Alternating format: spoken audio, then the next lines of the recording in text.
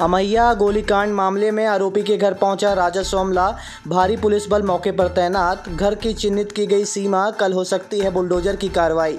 अपराधियों के परिजनों में खौफ का माहौल। आपको बता दें कि अमैया हत्याकांड मामले में फरार आरोपियों के घर आज राजस्व दल ने पहुंचकर की सीमा को चिन्हित कर दिया है। अमैया स्थित घटनास्थल में आरोपी के घर में कल बुलडोजर की कार्रवाई होगी। आपको बता दें कि हत्याकांड के बाद से ही सभी आरोपी फरार हो चुके हैं, जिसमें से मुख्य आरोपी सुमित सिंह परिहार के घर में आज एक राजस्व दल के साथ भारी संख्या में पुलिस बल पहुंचकर घर की सीमा को चिन्हित कर दिया। इधर फरार आरोपियों की तलाश में पुलिस जगह जगह छापामार कार्रवाई कर रही है। मौके पर पहुँचे राजस्व दल के साथ तहसीलदार शिवशंकर शुक्ला ने बताया कि प्रथम दृष्टिया बनाए गए अवैध निर्माण को सीमित कर दिया गया है। कल समस्त दस्तावेजों की जाँच करने के उपरांत आगे की कार्रवाई की जाएगी। कार्रवाई के दौरान नायब तहसीलदार यतीश शुक्ला, थाना प्रभारी सिविल लाइन हितेंद्र नाथ शर्मा, थाना प्रभारी अरविंद सिंह राठौर, थाना प्रभारी विश्वविद्यालय विद्यावारी तिवारी सहित भारी संख्या में पुलिस बल को तैनात किया गया था।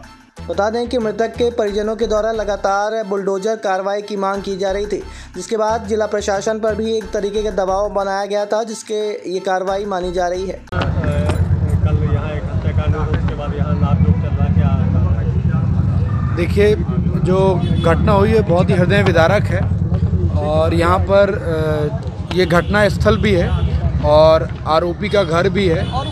इसकी जाँच की जा रही है नजूल की राजस्व की टीम जाँच कर रही है और कल नगर निगम के अमले के साथ भी संयुक्त रूप से जाँच की जाएगी और जो भी क्षेत्रफल इस भवन का अतिक्रमण में पाया जाएगा एवं जो भी बिना अनुज्ञा के, भवन अनुज्ञा के जो भी क्षेत्रफल रहेगा जिसमें घर निर्माण है उस पूरे को अतिक्रमित अतिक्रमित रकबे के रूप में चिन्हित करते हुए अग्रिम कार्रवाई की जाएगी। अभी शुरुआती दौर में कुछ चीज़ें देखने को मिली कि आप लोगों ने चिन्हित कर दिया है कि ये अवैध है तो क्या इस अभी अभी प्रथम दृष्टया हम लोगों ने यहाँ पर जाँच की है क्योंकि आज समय अधिक हो चुका इसलिए हमारी संयुक्त जो जाँच दल है वो अपनी पूरी जाँच नहीं कर पाया है।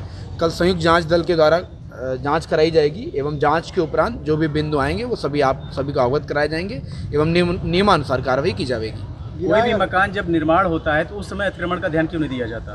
पूरी तरीके से निर्माण कर लिया इस जाता सम, इस संबंध में बेहतर होगा क्योंकि अभी ये घटना घटी है इसके उपरांत हम लोग चर्चा कर ज़्यादा बेहतर रहेगा।